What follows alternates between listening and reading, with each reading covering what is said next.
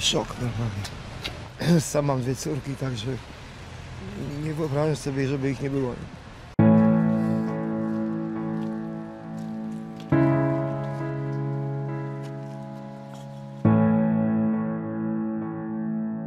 I y, praktycznie rzecz biorąc, to tam najprawdopodobniej rozpoczął się pożar.